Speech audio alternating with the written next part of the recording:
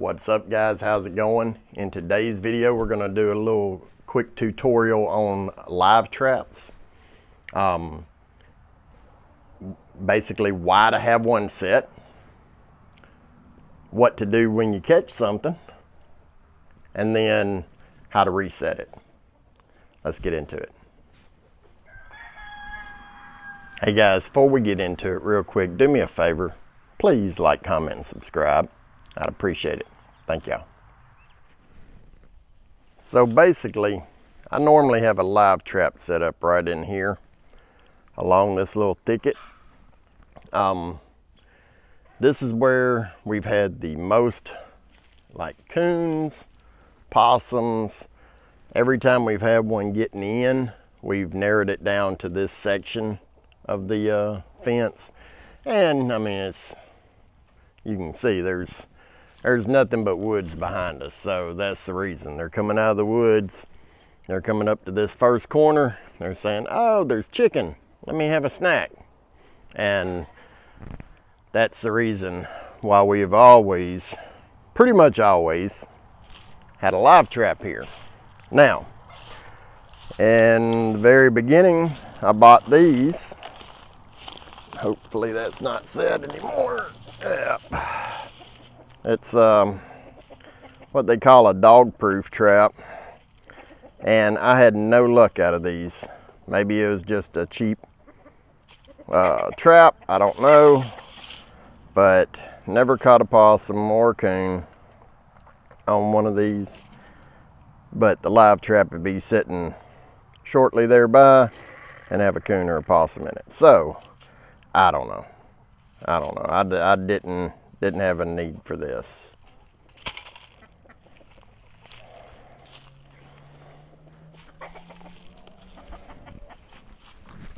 So you may be asking yourself, what do I do with a coon if I do catch one or a possum or whatever gets in your trap? Well, you got a couple of choices. Um, you can dispatch them. I take, I, I, I personally dispatch all mine and I take them out into the woods, dump them off and let nature take its course. Um, my theory is everything out there likes to eat chicken and um, they're up here by my chicken coop for a reason. They're not up here just, you know, gallivanting or whatever. They're up here looking for a meal. And if I don't get rid of them today, then they'll be back tomorrow and following.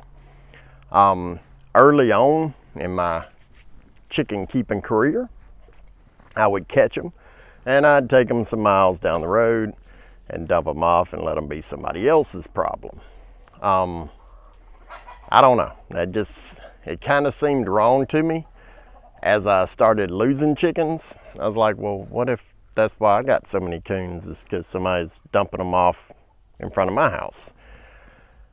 So, you know, if they stay out here in the woods, I have no problem with them. That's where they belong. They should be.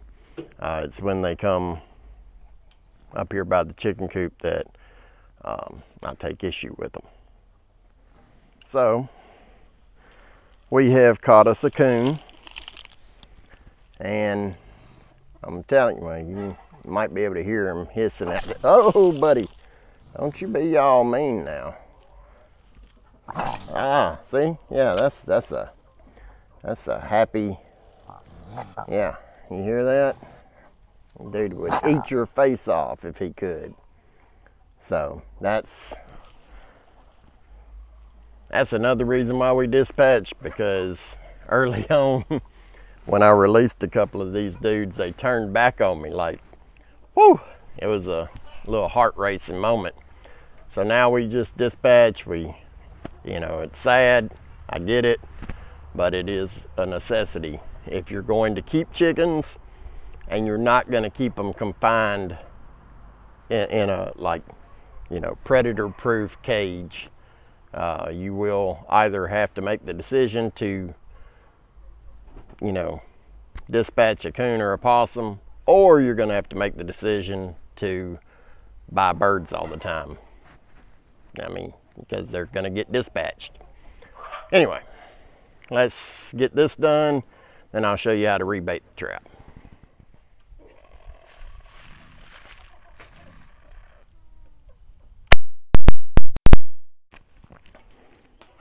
All right, I want to show you a problem that you're going to run into with these live traps. Don't know if you're familiar with them, but basically it's got this little pin right here. It just hooks onto this door. Runs down here through this trigger, down to this foot, that when they step on it, the foot presses down and that closes this little latch here keeps it from from opening so your coon your possum or whatever is stuck. Uh, well possums aren't that bad. They don't try to dig out but coons will I mean they will dig and dig and dig and dig and dig. And so they reach your hands outside and dig and toenails and everything and dig and um, so they end up piling dirt all up underneath this, this foot. So every time you reset it, you need to make sure that that foot's real good and cleaned out because if they step on it and it doesn't go down, then the lid's not going to close.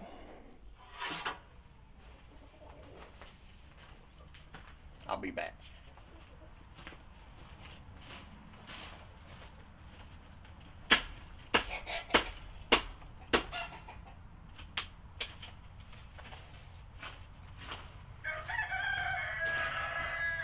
This ought to work.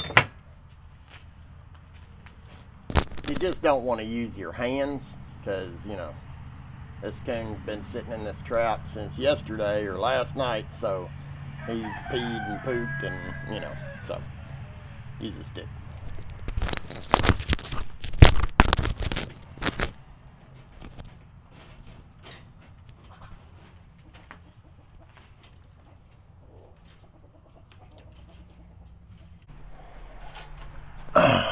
All right, so we got the trap. We're gonna go over here to the same location that we always set it up. I have moved it around. Oh yeah, we gotta grab a little bit of bait. Yes, I hadn't checked eggs in a week. So anyway, we set it up in the same spot every time it just it just keeps working so why change it you know? Let me turn you around. You can see that this is where the trap was set last time. And you can see how the coon dug and all that so. All right. So ouch sticker briar. Um, all right, so we got our bait.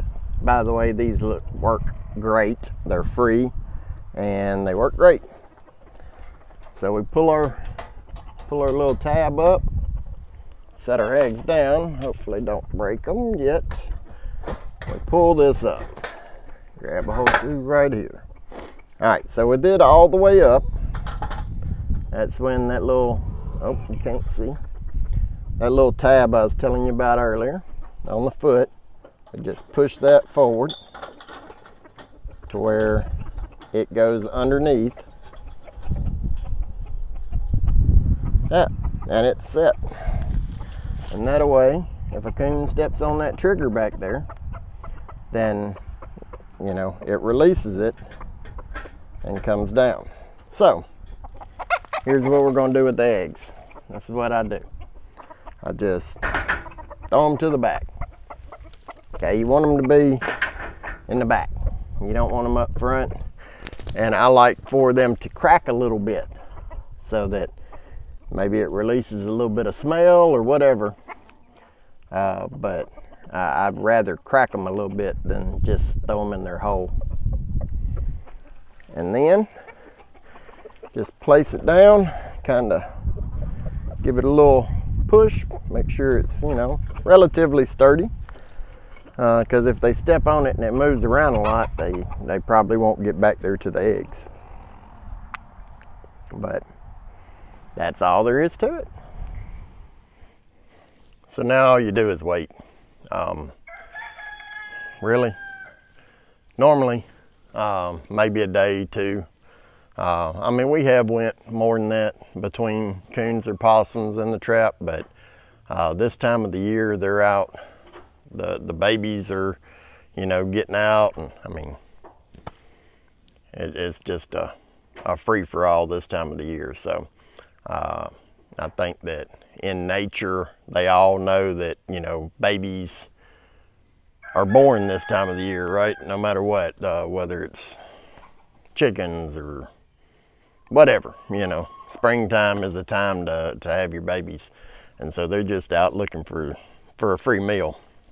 So I keep it, I keep it lit up all, all spring, most of the summer. Sometimes in the winter I'll slack off because, um, you know, they're not as, I don't know, as hungry? I don't know. I don't know why they don't eat as much in the winter. But anyway, hey guys, if y'all got anything out of this, please like, comment, and subscribe. Thanks.